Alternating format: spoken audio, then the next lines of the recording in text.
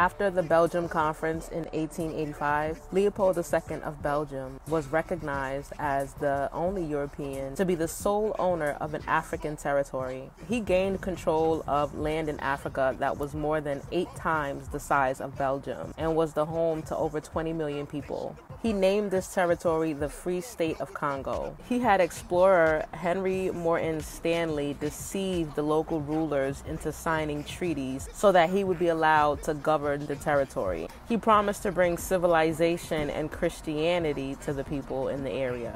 By the 1890s, the Congo state had become notorious for its cruel treatment to the Congo people.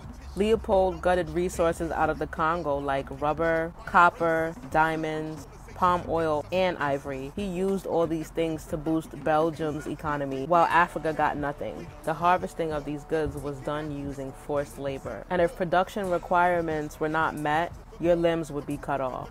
Men, women, and children were forced to work for absolutely no wages, despite the fact that slavery was abolished. Leopold built an army. This army consisted of unpaid children who were forced to become African soldiers. Leopold also hired European officers to ensure that the soldiers were doing their job. Children were kidnapped and they were forced to work and be trained for war. Ironically, the same hats that Leopold had his army of African children wear are the same hats that have become the signature for the modern day Moors. However, the original Moors did not wear fez hats, they wore turbans. So there has been a huge misconception with people thinking that it was the Moors killing the Congolese people for Leopold, when in fact it was Leopold's forced army. Children were also kidnapped and taken to Belgium to be put on display at the Human Zoo in Leopold's palace. Children were deprived and women were raped.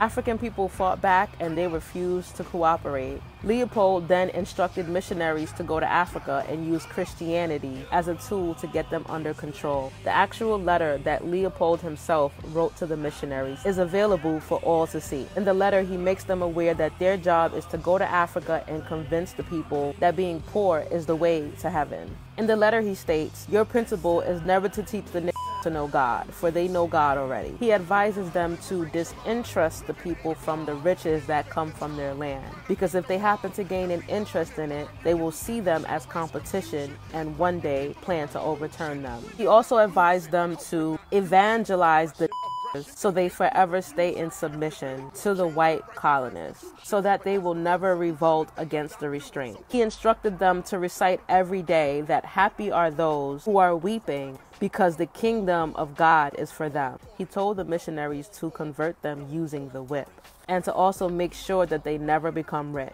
He also told the missionaries to require the Africans to pay taxes every Sunday. Leopold then put that money into building huge businesses back in his hometown, while Africa stayed underdeveloped. Leopold also told the missionaries to teach the African people to forget their heroes and only worship the white man. Mr. Mukuwani Mukoko who was born in the Congo in 1915, bought a secondhand Bible from a Belgian priest who forgot to remove the letter from the Bible before he sold it. This is the only reason why we are aware of this letter that he wrote to the missionaries. Africans that converted to Christianity before the arrival of Leopold clearly were not aware of the true purpose of Christianity being supplied to them. Their Japanese counterparts realized what was happening to the Africans with the missionaries. So they ordered the expulsion of the Portuguese and the Spanish missionaries from Japan. They were forcing the Japanese people to become Christian and they were also teaching them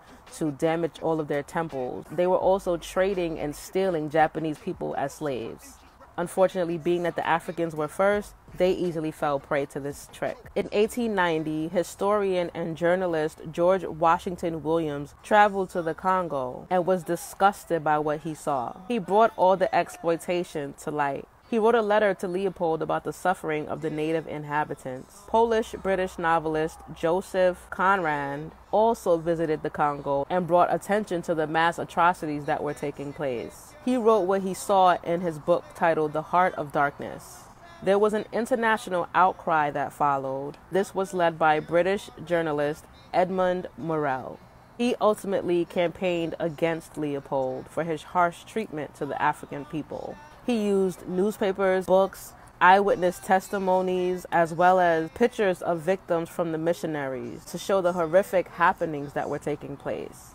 As a result, the Congo Reform Association was established in 1904. In 1908, the Belgian government took the Congo from Leopold. They then named it the Belgian Congo. During Leopold's time under ruling the Congo, over 10 million Congolese people were killed. The Belgian government ruled the Congo until it gained its independence in 1960. Before Leopold's death, he was awarded 50 million francs from the Belgian government. Meanwhile, African leaders fought for restitutions for the Congolese people, and nothing has come of it.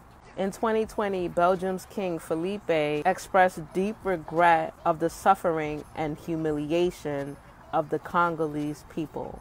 However, nothing has been done for the Congolese people. African leaders refused to accept that apology. The apology simply was not enough. The Congolese people deserve restitution and reparations. If Belgium was truly apologetic, they would compensate the Congolese people the same way they compensated Leopold for committing mass genocide. The Europeans are clearly still upholding the Leopold mandate of doing everything in your power to avoid the African people getting rich.